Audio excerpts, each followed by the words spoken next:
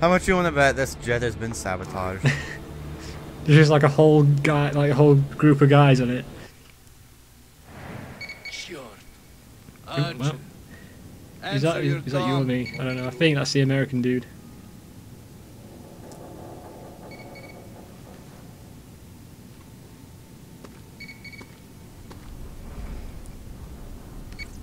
Yeah, that's the American dude. Kestrel's Russian.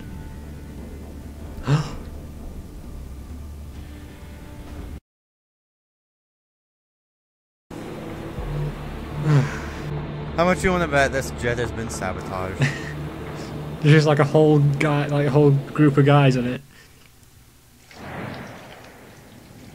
Ooh, well, is that is, is that you or me? I don't know. I think that's the American. Go for dude. Archer. Why aren't you answering your OPSAT? I don't have it with me. What's wrong?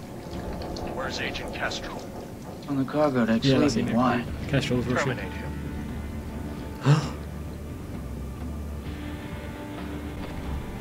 Oh, oh. Oh, this is me. Wait a minute. I've got I've got a present for you.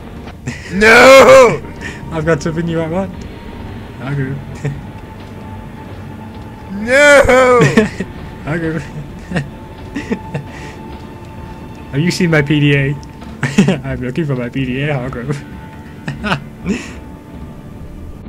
We're assigned to eliminate each other. No, we're not. No, we're not, Hargrove. Yes, we are. That's a lie. This is the bonus mission. Yes, it is. we, have, we have to we have to give each other a present, Hargrove. oh, I'm having so I'm having too much fun with this. so, what you doing? Oh God! We can take them down. Oh! Crap. Oh god. Do you know, if I was actually a real spy, I would have teamed up with you to take down both the organizations. it's funny that you're bleeding because I uh, shot you in the head, you know, but. No, I'm bleeding out the chest. On orders. Run, Chief. we could have been good together. Oh god. I'm so sorry. What have I done? Oh god.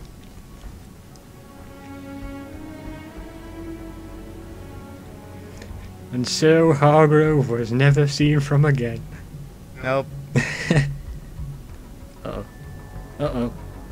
Uh-oh. Oh, we'll never hear from you again either. so I just imagine Co- like Cobain, like that's the guy Cobain, just gets a PDA. He says killed, killed both of them. I get one saying kill Hargrove, you get one saying kill CST, and Cobain's like kill both of them. So, whew, that's uh, Splinter Cell. What a horrible ending. We both die. We could have been good together. We could we could have took down the man.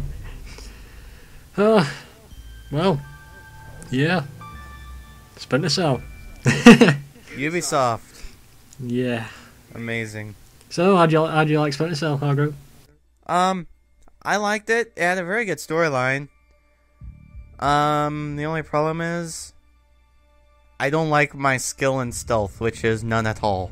You really need to play a single player this. It's got a really good story, and you don't really have to be sneaky. But and it's got actually likable main character rather than two two guys that will kill each other for money. I think that's what we're getting. Are we getting paid money? Is that is that what we're after, or is it just like oh, who knows? Ah, so it's been how long? Seven months, and we have finally completed Splinter Cell Yep. Conviction multiplayer. Yep. You do actually know that there is DLC that has more co-op, but it's. I think it's just like some extra maps. I don't think it's anything important. If we had that, this LP would be like two years long. So I'll see you in two months. right, I'm gonna leave the credits in because that's what I always do. yep, me too. Uh, that's uh, Not to mention that not not to mention that it has some really awesome music. yeah. Oh, I can't hear it. I've turned sound off. I do. I do actually like the ending. It is a very good twist. So I've. Uh, I mean, it is. I thought you had the same cutscene as me, but I think if I remember, you have a different one, don't you? You had. Uh, did you look at my. PDA? I got a phone call saying, "Why haven't you answered your PDA?" I was like, "Why? Do I have to do something?" Yeah, yeah, kill him. Oh, okay. Which one did yours say? Uh, he says, "Have you answered your PDA?" Like, no. He's like, "Well, terminate him." Was like, "Oh, okay." No, mine is um, mine's a text message. Yeah, I think you had. I think you had my PDA, or I think was it? I don't know. It might have been your own PDA, but it would have been cool if you got my PDA. It's like I've got to defend myself. It said el- it said eliminate Agent Kestrel. What was the point of that anyway? If it's to eliminate the knowledge of the like the two people going in, what about the entire people that was taking charge of the operation? Are the two companies now going to go to war? And who does Corbin work with? Is he a bad guy? It's like, oh god, I'm going into question mode. These are plot holes.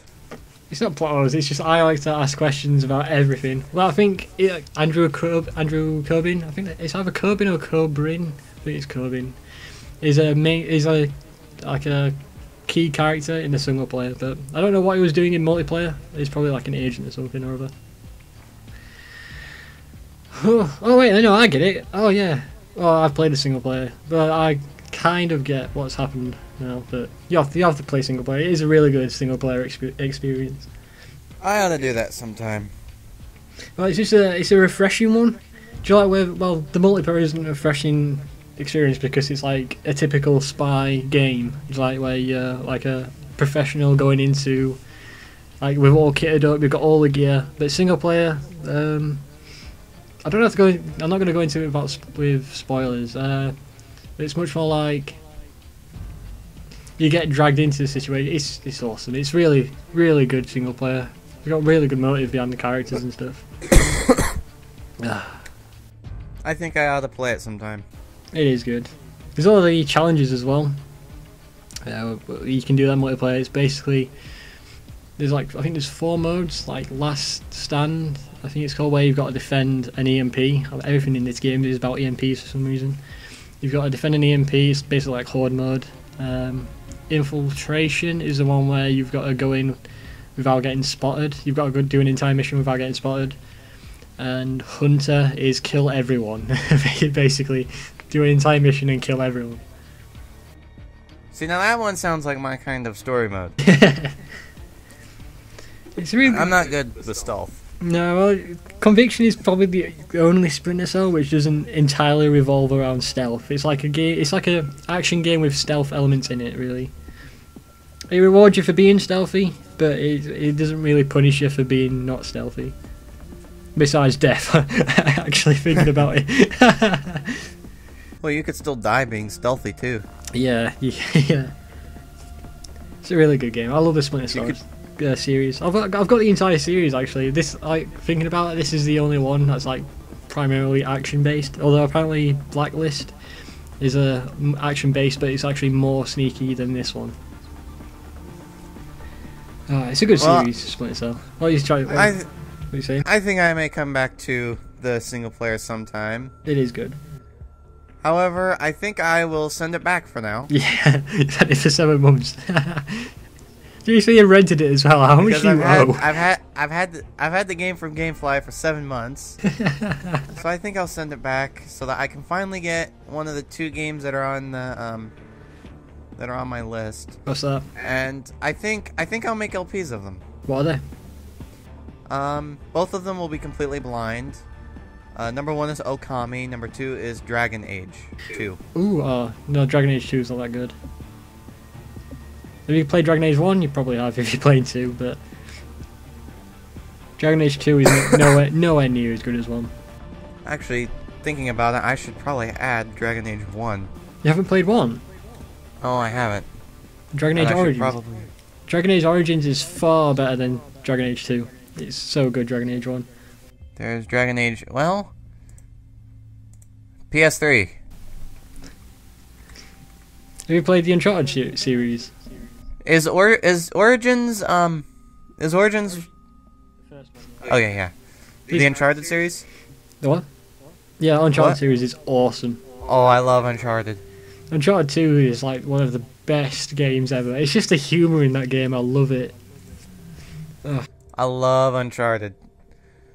It is so awesome. I need to like get the second and third one. The second one is probably the best out of the trilogy because it's just so it's so much funnier and much more laid back. And the third one, it's not. It doesn't try as many jokes. I think it tries to be a lot more serious, but it's still good. I didn't expect the credits to be going on this long. Me either. I don't actually. I don't actually own the second or third Uncharted. I should probably try to find them though. yeah, the first one's actually the worst out of the trilogy. Like compared to the others, it's just so bad. I mean, gameplay wise, it's just so bad compared to the others, but it's still good. You know. It's yeah. I mean, compared to any other game though, it's still really awesome. Yeah, yeah, that's what I mean. Like, just compared to the other series. One series I've been trying out, like what I've just recently came into, was the Tales of series, which is basically basically like another Final Fantasy series. I think it's kind of wrong to like compare it to another series, like another shooter coming out and comparing it to Call of Duty, but whatever. But t- basically, the Tales of is a, a JRPG. I've just just been having so fun with that series lately. It's like an anime-styled? JRPG. It's really good. Well, it's like Tales of Vesperia was the one for Xbox 360. I don't know if it came out for any other console. And then it was Tales of. Um, no, not Xillia. Tales of Graces f. I don't know what the F stands for, but it's just there. and then I've got Tales of Xillia, which isn't that is that good. Well, it's not. I just haven't got into it. It's, I don't know. It's a good series to get into, Tales of. Especially if you like anime. Let's see. Next under Dragon Age 2 will probably be. I see. I don't know what this game is about. I've never even heard of this game before. It's a game called Record of Agarest War 2. Record of. I've never heard of that. Is it is it Reckoning the first one, or I don't know. I've just randomly found it on GameFly, and it's a J. It's a JRPG. It looks a lot like Hyperdimension Neptunia. I haven't heard of Hyperdimension, whatever that was. And then under that is uh, Ni no Kuni. oh yeah, I've heard lots about that. I've heard a lot about it, which is precisely why I want to rent it to play it to see if I like it. And then under that, hey, is the Metal Gear Solid collection. Yeah, I love Metal Gear Solid. And then Fire Emblem Awakening, which I can't do an LP of that. That's for the 3DS. Yeah, I think Giza loves that game. Have you ever played the Kingdom Hearts series? No, I haven't. I have friends that are like, you need to play it, you need to play it, you need to play it, you need to play it. One of the best gaming ideas ever. Final Fantasy mixed with Disney.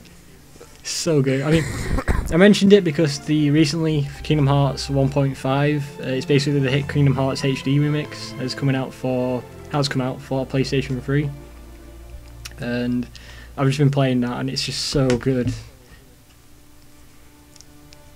It's it's like one of the, it's probably one of the well, it's like it's good, but then when this is a second one, it's so much better that it just completely destroys it.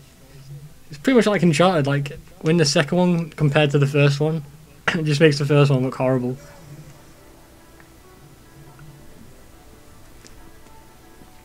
Oh yeah, the big one, GTA 5, just came out. Oh, I've never played GTA. Well, it's it's definitely got like a specific audience, hasn't it? GTA. Got- Yeah. GTA San Andreas I've- was awesome. Grand Theft Auto 4 was also awesome. GTA 5 again, awesome, but it's got a, it's got like a taste to it, hasn't it? It's definitely aiming towards a, sp- a specific audience. It is. But it is probably one of the greatest open world experiences you can have in a video game.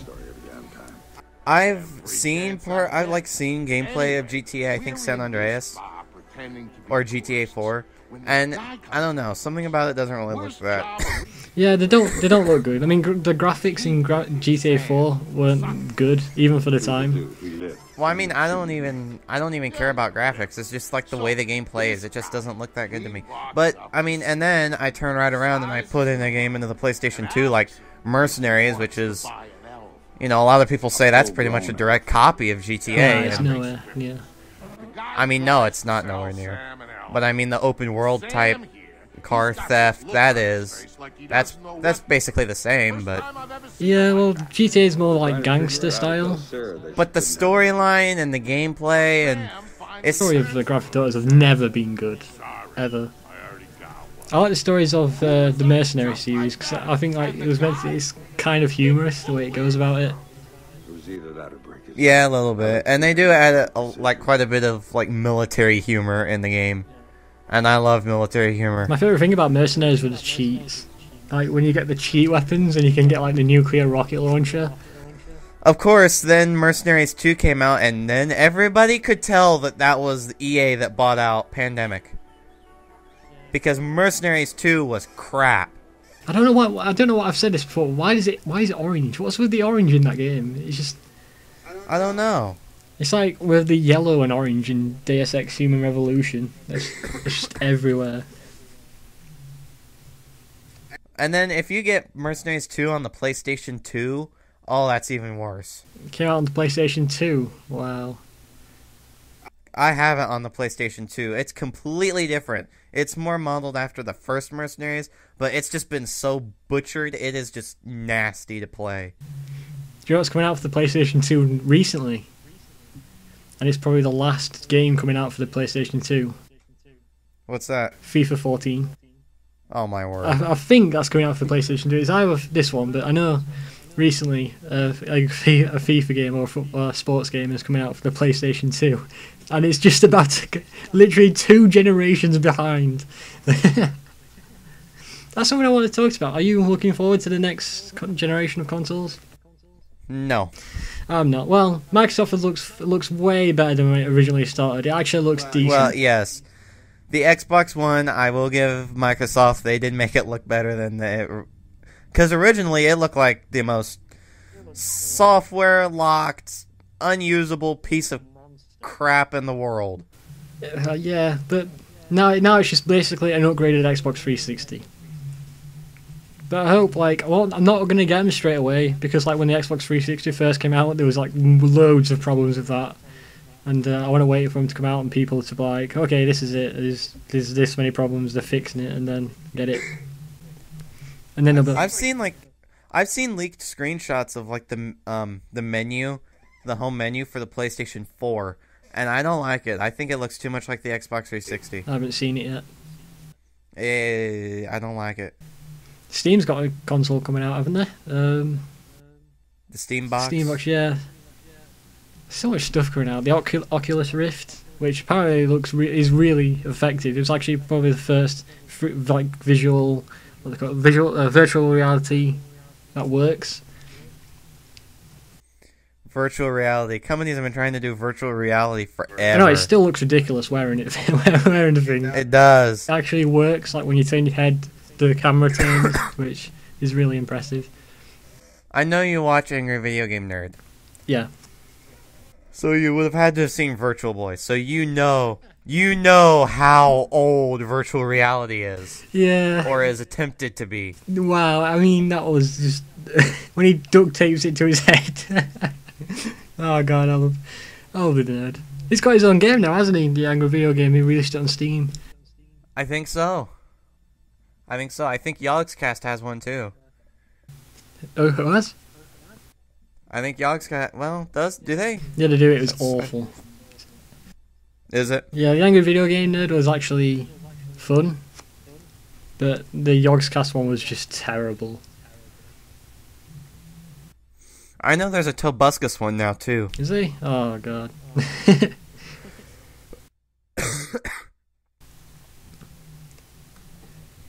wow, the credits. So long. Uh, is this for the entire game or just the multiplayer set? It's got to be for the entire game, hasn't it? Not. It has to be. There's no way. It's just it does not take this many people to do that short of a co-op.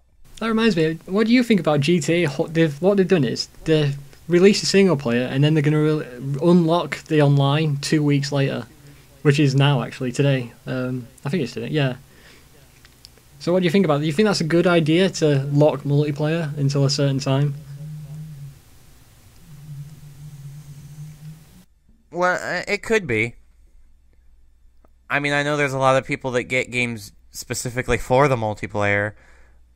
But also, I mean, it gets people, you know, people are like, we want the game, we want the game. So, I mean, they gave them the game.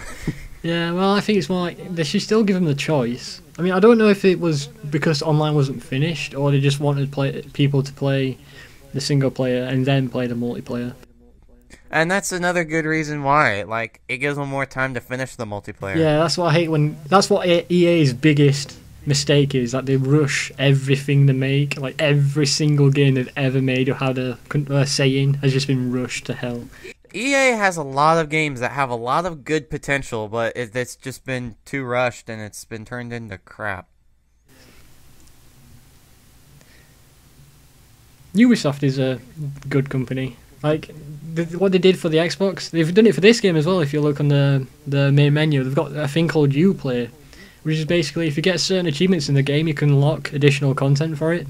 Like for Assassin's Creed 2, you can unlock new costume and uh, another level, like another dungeon that you can do. And I think that's a brilliant idea because Gamerscore right now is just pretty much, it's just, it's not got no real use, and I think UPlay was a fix to that. Besides bragging So- rights, so I mean, for the Gamerscore. What do you think? Do you think Assassin's Creed 4 looks good? Yeah, well, is it the Black Flag or is it Assassin's Creed 4? They, weren't they separate games, if I remember? Or is it Assassin's Creed 4? Black Flag. It's Assassin's Creed 4 Black Flag. Black Flag was awesome. It looks re- it, it looks really good. It's oh, I think any game that's now like Assassin's Creed mixed with pirates is like it's like a brilliant idea right there. And you, you probably saw it coming straight away from it's like Assassin's Creed is starts in history. It's like okay, can we have pirates, please? I really do like the direction that Ubisoft has taken Assassin's Creed, but I'm not really sure if like the locale of the next game is going to be all that great Yeah, well, I think like because they've always like made it around certain events in history rather than a place. yeah. And now they're just kind of their main thing is just kind of the Caribbean. I think they're just trying to keep it fresh, aren't they? They're trying to get something new for each game. Yeah, and that's that's a good idea. But I'm not really sure if like the Caribbean is such a. I mean, it, it, it could work. I'll give it that it could work, but I'm not sure if it will be. I, I think there's better that they could there could be. I think the most difficult thing to do is to get reasons as to why to go back in time.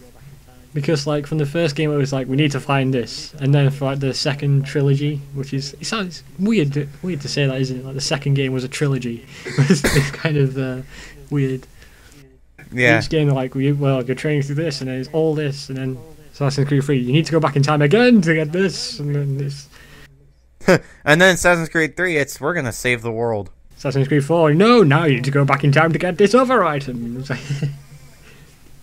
Why can't I just go back and get them all at once? Because your memories are locked, you have to ease yourself into it. I've been doing this for years, dude. I love Assassin's Creed, but there, if there was one thing that I really kind of wish that there was.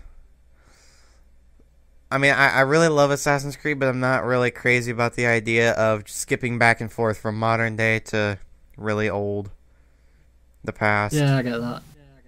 And then the whole time, like the sequence and the the animus and all that. It's because they've got two focuses for the. It's like the main characters of two. Well, it's like two main characters for each game, and it's just so weird. I think it's good. It's a good idea in like as an idea because it's like you've got one character that goes throughout every single game, and then each of the games have their own main character as well, which. I can see it as a good idea, but it's just in practice you play most of the like ninety percent of the game is about one of the characters besides the other one that's in all of them. Yeah, and really, I think they should have just went ahead and made it like all the game that one character because it's really the to me the best part of all the Assassin's Creed storylines are Altair, Ezio, Connor. I, I think the very last Assassin's Creed game is just going to end with Desmond Miles being a badass, like a really good assassin. Like he's got the experience of Altair, Ezio, Connor. Who's the guy in Black Flag? It's is it? It's someone new, isn't it? Edward. Um, Edward. Edward. Edward Kenway. I mean, all those are on their own. Each assassin is badass, but now he's going to have all the combination of all those assassins in one guy. He's, he's going to have to be untouchable. He's going to be like a complete badass. He's going to have to be. It's going to be built. It's been building him up. Uh, I, I never understood why they couldn't just keep. Well, I mean, I guess I do understand. But they give the guy, they give Edward Connor's last name, but it's not actually, it's not Connor. Yeah. And in the time period that this is, is Connor already dead? Is it like in further in the past, or is it a little bit further in the future, or? I don't know. Uh, it's probably. I think they're going closer to the modern. It's I. I think it. I think it's probably pretty close since there's pirates. Since there's pirates, there's probably Royal English Navy, and that was usually around the ti same time as the colonies. And oh, look, the credits are done. And here we are. Uh, Yay! so, it's a Splinter Cell. Look a picture. Yep, this last episode is just gonna be nothing but conversation. well, the credits started. So, tell me about the weather.